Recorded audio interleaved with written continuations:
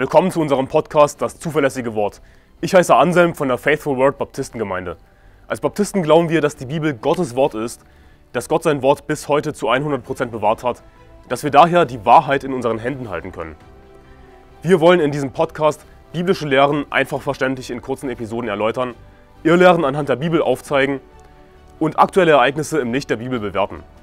Außerdem werden wir zusammen mit Pastor Anderson in längeren Episoden einzelne Kapitel der Bibel Vers für Vers durchgehen und die Verse erklären. Wir wollen mit diesem Podcast das nach Deutschland zurückbringen, was es verloren hat, und zwar biblisches Christentum. Viele Christen heutzutage haben ein Problem mit harten Predigten. Aber wie kannst du nur so laut sein? Wie kannst du nur so hart predigen? Wie kannst du nur so beleidigend sein, Anselm? Aber die Bibel gibt uns eindeutige Vorbilder, wie wir predigen sollen. Allen voran Jesus Christus selbst.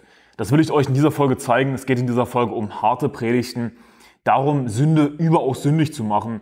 Denn die Bibel sagt in Römer Kapitel 7 ab Vers 12, so ist nun das Gesetz heilig und das Gebot ist heilig, gerecht und gut. Hat nun das Gute mir den Tod gebracht, das sei ferne. Sondern die Sünde hat, damit sie als Sünde offenbar werde, durch das Gute meinen Tod bewirkt. Damit die Sünde überaus sündig würde, durch das Gebot. Also die Bibel sagt, dass das Gesetz Gottes, dass die Gebote die Sünde überaus sündig machen. Das bedeutet, dass das Gesetz Gottes uns die Sünde aufzeigt. Wir wissen vielleicht als Christen, okay, das ist falsch, ja, das ist Sünde, aber es ist wichtig, dass die Sünde überaus sündig gemacht wird, damit wir realisieren, wie böse Sünde in Gottes Augen ist. Das macht das Gesetz, die, das Gesetz macht die Sünde überaus sündig.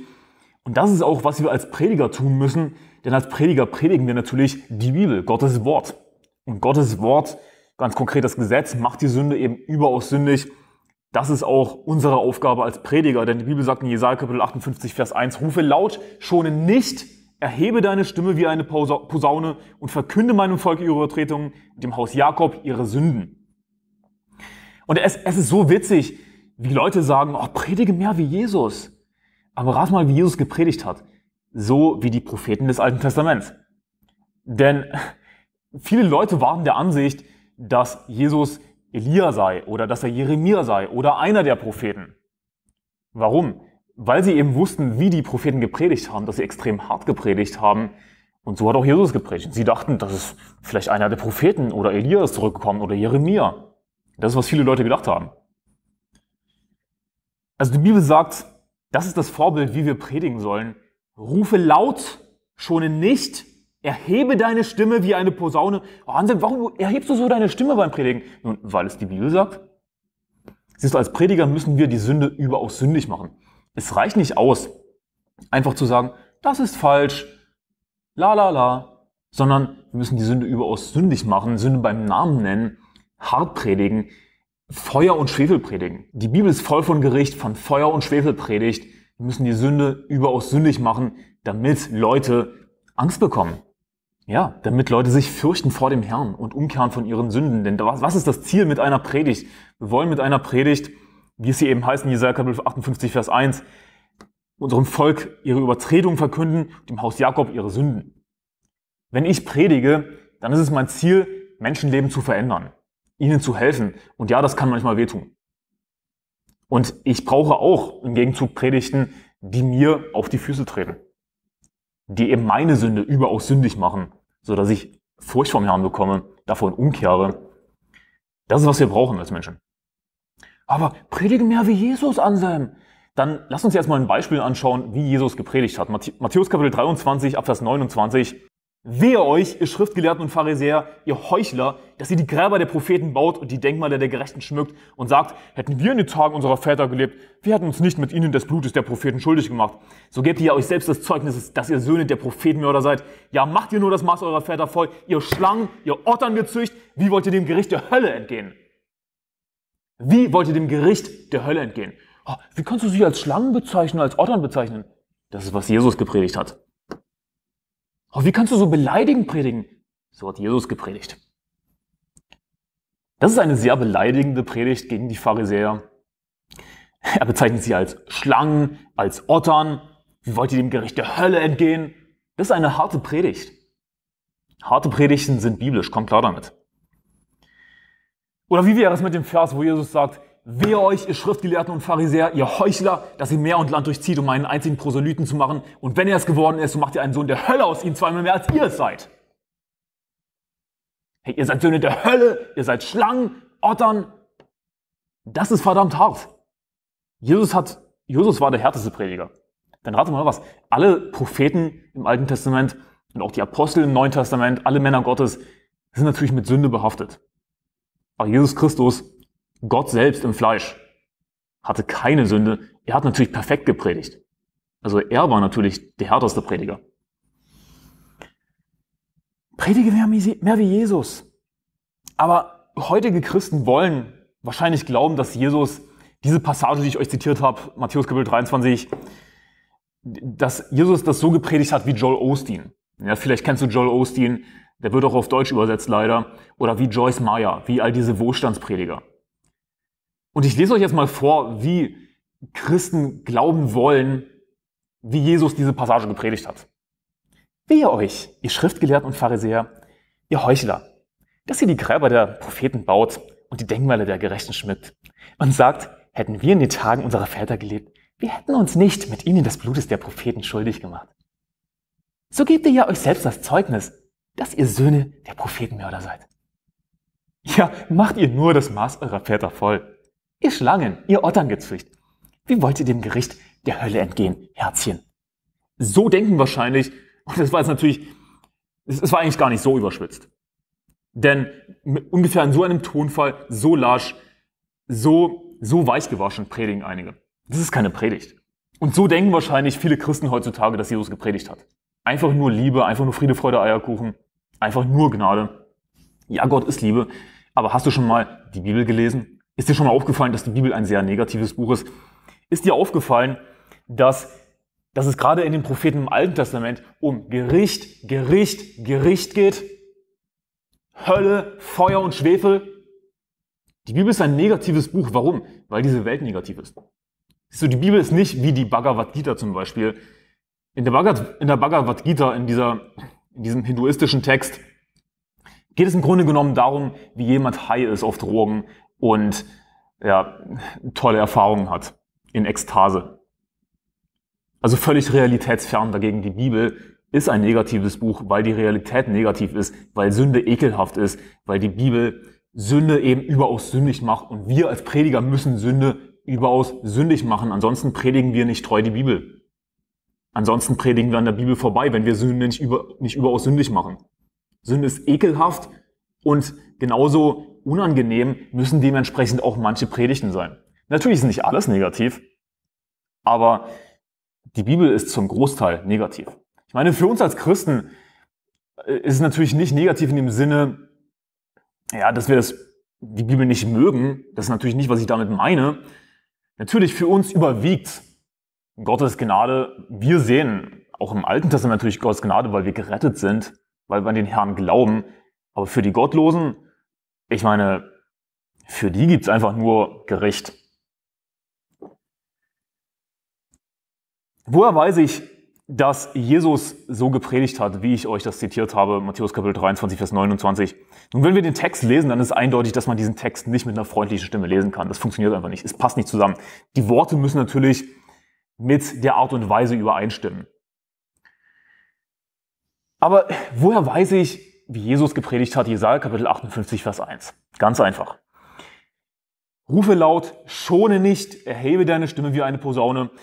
Und nicht zu schonen bedeutet, nichts zurückzuhalten, auch dann nicht, wenn sich einige Personen vielleicht direkt beleidigt fühlen können. Einfach nichts zurückzuhalten. Sondern wir müssen den ganzen Ratschluss Gottes predigen, unabhängig davon, ob sich jemand vielleicht persönlich beleidigt fühlt. Wenn das Ding ist, mit einer Predigt will ich doch als Prediger Menschen erreichen, dass Menschen sich angesprochen fühlen. Und ja, damit laufe ich Gefahr, dass einige beleidigt werden und weggehen. Aber so ist das halt.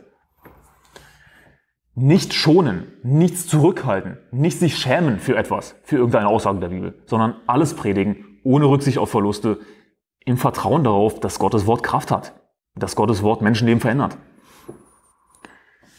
Aber ein interessantes Beispiel dafür, nicht zu schonen, wie Jesus nicht geschont hat, ist Lukas Kapitel 11 ab Vers 44. Da heißt es, Wehe euch, ihr schriftgelehrten Pharisäer, das ist jetzt die Parallelstelle zu Matthäus 23. Wehe euch, ihr schriftgelehrten Pharisäer, ihr Heuchler, dass ihr wie die unkenntlich gewordenen Gräber seid, über welche die Leute dahin gehen, ohne es zu wissen. Vers 45, da antwortete einer der Gesetzesgelehrten und sprach zu ihm, Meister, mit diesen Worten schmähst du auch uns. Er aber sprach, oh, tut mir leid, ich wollte dich doch nicht persönlich beleidigen. Nun, das ist natürlich nicht, was Jesus gesagt hat. Aber so sind heutige Christen, so wie ich das jetzt vorgemacht habe. Sie sagen, ja, Homosexualität ist Sünde, aber wir wollen sie doch nicht persönlich beleidigen. Ach, tut mir leid, wir lieben dich natürlich trotzdem, du Homo. So sind heutige Christen. Aber wie ist Jesus? WWJD, what would Jesus do? Dann lass uns mal lesen in Vers 46, what would Jesus do? Er aber sprach, wie auch euch Gesetzesgelehrten. Denn ihr ladet den Menschen unerträgliche Bürden auf und ihr selbst rührt die Bürden nicht mit einem Finger an. Also, es, es ist so witzig zu lesen, weil es einfach so extrem heutigen Christen widerspricht. Der Haltung von heutigen Christen. Vers 45, Meister, mit diesen Worten schmerzt du auch uns. Er aber sprach, wer auch euch Gesetzesgelehrten? Richtig, ich schmähe auch euch. Richtig, es geht auch um euch. Fühlt euch ruhig beleidigt. Und seine Jünger kommen zu ihm und sagen, und das jetzt hier nicht in der Stelle, aber das ist ein anderer Vers, der gut dazu passt. Sie sagen ungefähr zu Jesus, weißt du, dass die Pharisäer Anstoß nahmen, als sie das Wort, Wort hörten. Aber Jesus interessiert das überhaupt nicht, sondern er sagt einfach, jede Pflanze, die nicht mein himmlischer Vater gepflanzt hat, wird ausgerissen werden. Lass sie, sie sind blinde Blindenleiter. Wenn aber ein Blinder den anderen leitet, werden beide in die Grube fallen. Hey, lass sie, ist egal, dann, dann fühlen sie sich beleidigt. So what? Vers 47, wie auch, wie euch, dass ihr die Grabmäler der Propheten baut, eure Väter aber haben sie getötet, so bestätigt also ihr, ihr also die Taten eurer Väter und habt Wohlgefallen daran, denn jene haben sie getötet, ihr aber baut ihre Grabmäler. Und fährt fort, gegen die Gesetzesgelehrten Gelehrten auch zu predigen. WWJD, what would Jesus do?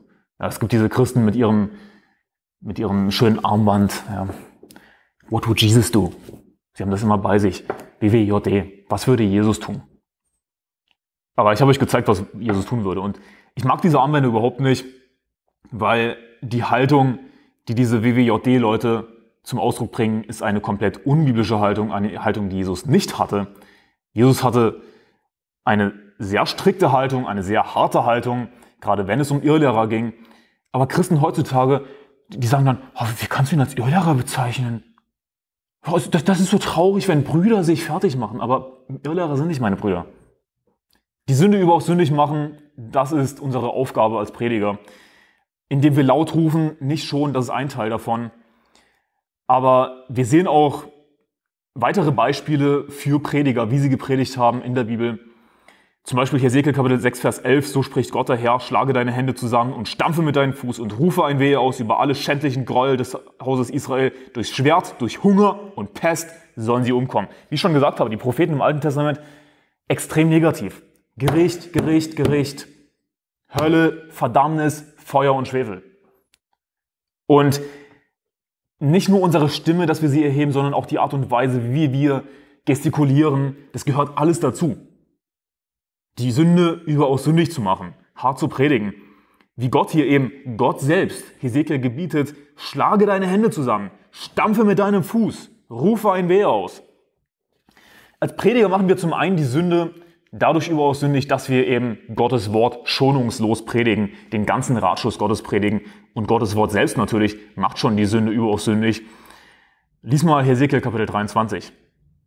Es ist übrigens interessant, dass Hesekiel Kapitel 23 eine extrem harte, schwer zu ertragende Predigt ist. Zugegeben, schwer zu ertragen, fleischlich, menschlich gesehen. Und Matthäus 23 ist auch eine harte Predigt. Aber wir machen Sünde nicht nur dadurch überaus sündig, dass wir den ganzen Ratschluss Gottes predigen, nicht zurückhalten von Gottes Wort, sondern zum anderen machen wir Sünde dadurch überaus sündig durch die Art und Weise, wie wir predigen. Habe ich euch gezeigt, Jesaja Kapitel 58, Vers 1, Hesekiel 6, Vers 11. Also ich habe euch aus der Bibel gezeigt, dass harte Predigten absolut biblisch sind. Jesus hat hart gepredigt. Er wurde verwechselt mit Propheten des Alten Testaments. Warum wohl? Weil sie eben hart gepredigt haben. Das waren keine Weicheier, ja, aber heutzutage haben wir all diese Weicheier, diese Weichei-Pastoren, die alles zurückhalten von der Bibel, die nicht die unpopulären Passagen predigen wollen. Dabei ist so vieles von der Bibel unpopulär. Ich meine, eigentlich so ziemlich alles von der Bibel ist unpopulär. Aber sie wollen einfach angenommen sein, akzeptiert sein, einfach nur die netten, freundlichen Dinge predigen, dass auch schön das Geld im Kasten klingt. Und die Bibel spricht davon, dass Irrlehrer einfach nur an ihrem Gewinn interessiert sind. Das ist leider so. Und das trifft natürlich zu auf die katholische Kirche, auf die evangelische Kirche, auch auf viele Freikirchen. Nur weil eine Kirche Freikirche heißt, ist es noch lange keine gute Kirche. Freikirchenpastoren sind manchmal schon, sind auf dem Level oder sogar noch schlimmer als äh, Pastoren der evangelischen Landeskirche. Viele von ihnen. Es gibt letzten Endes zwei Gruppen von Christen, die falsch liegen, wenn es um harte Predigten geht. Zum einen gibt es diejenigen, die grundsätzlich etwas gegen harte Predigten haben, die einfach grundsätzlich der Meinung sind, dass es falsch sei, hart zu predigen, Irrlehrer beim Namen zu nennen, gegen Menschen zu predigen, Menschen zu beleidigen. Und ich verstehe nicht, wie jemand damit ein Problem haben kann, wenn ich Wörter wie Schwuchtel benutze. Siehst du, wir sollen die Sünde überaus sündig machen. Und was bedeutet das, die Sünde überaus sündig zu machen?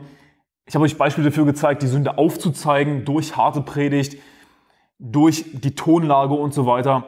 Aber Sünde überaus sündig zu machen, es geht im Grunde genommen darum, dass wir nicht Sünde wie einen Berliner Pfannkuchen mit einer Zuckerglasur überziehen, sondern dass wir die Sünde so richtig ekelhaft machen. Dass wir die Sünde so richtig aufzeigen, wie widerwärtig und böse Sünde in den Augen Gottes ist.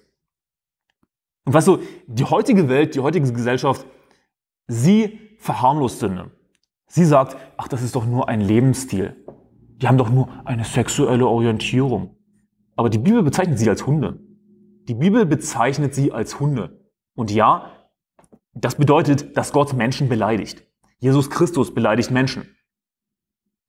Und genauso müssen wir als Prediger manche Menschen beleidigen. Wozu? Um die Sünde überaus sündig zu machen. Und dabei geht es mir nicht um die Hunde selbst, sondern mir geht es um die Christen, die die Predigt hören. Die müssen das wissen. Die müssen aufstehen. Gegen diese kranke Gesellschaft, gegen Sünde allgemein. Es gibt zum einen die einen, die grundsätzlich etwas gegen harte Predigten haben. Nun, wenn du etwas gegen harte Predigten hast, weißt du was, dann, dann bezichtige doch Jesus einfach der Sünde. Dann mach das doch, wenn du so dumm sein willst. Ich habe dir aus der Bibel gezeigt, dass harte Predigten biblisch sind. Harte Predigten sind nötig. Jeder von uns, auch Prediger selbst, haben harte Predigten nötig, weil wir natürlich alle Sünder sind. Wir haben alle Schwachheiten, wir haben alle Fehler.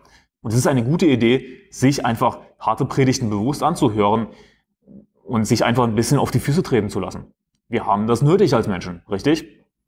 Zum anderen gibt es aber diejenigen, die harte Predigten mögen, solange es, sie, es nicht um sie persönlich geht. Und äh, es ist leicht, harte Predigten zu hören, wenn es gegen Irrlehrer geht.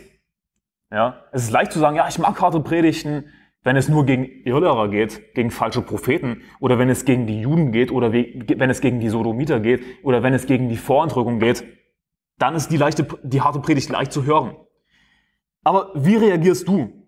Was ist, wenn es dich persönlich trifft? Wenn eine harte Predigt dich persönlich trifft, deine eigene Sünde, wie reagierst du? Die Bibel sagt nicht in Jakobus Kapitel 1, Vers 27, eine reine und makellose Frömmigkeit vor Gott dem Vater ist es, gegen die Vorentrückung zu sein gegen die Sodomiter zu sein, gegen Zionismus zu sein. Das ist nicht, was die Bibel sagt, sondern die Bibel sagt in Jakobus 1, Vers 27, eine reine und makellose Frömmigkeit vor Gott dem Vater ist es, Waisen und Witwen in ihrer, Bedrängnis zu besuchen und sich von der Welt unbefleckt zu bewahren. Siehst du, reine, makellose Religion in den Augen Gottes ist es nicht, ist nicht einfach nur das Richtige zu glauben, einfach die richtigen theoretischen Lehren zu wissen, sondern das richtige Leben zu leben, danach zu handeln. Siehst du, ich, ein Christ, der vielleicht ein paar falsche Lehren glaubt, wie zum Beispiel Vorentrückung und Zionismus und diesen ganzen Quatsch, aber regelmäßig Seelengewinn geht, ein heiliges Leben führt, der hat eine reinere, makellosere Religion in den Augen Gottes des Vaters als du, der du nicht Seelengewinn gehst, aber alles, alles richtig glaubst. Du glaubst alles richtig, ja, dass die Juden nicht Gottes Volk sind, dass wir nach der Trübsal entrückt werden und dass die Sodomiter Hunde sind in den Augen Gottes. Schön, dass du das alles glaubst, aber was ist, wenn es um deine Sünde geht? Wie reagierst du? Reine Religion ist mehr als nur das Richtige zu glauben. Als einfach nur die richtigen Lehren zu wissen. Es gibt so viele Christen, die zwar das Richtige glauben, aber sie gehen nicht Seelengewinn. Sie sind untreue Gottesdienstbesucher. Sie leben ein relativ weltliches Leben. Sei zum einen nicht dieses Weichei, das harte Predigten allgemein falsch findet harte Predigten allgemein nicht mag. Sei zum anderen aber auch nicht das Weichei, das zwar Amen schreit, wenn es gegen die Sodomiter geht, dann aber die beleidigte Leberwurst spielt, wenn es um deine eigene Sünde geht. Ich hoffe, diese Folge hat dir geholfen. Gottes Segen. Bis morgen. Übrigens, wir sind neuerdings auf Odyssey, einer neuen, vielversprechenden YouTube-Alternative. Und es würde mich freuen, wenn du uns unterstützt, unseren Kanal abonnierst auf Odyssey. Den Link findest du unten in der Beschreibung.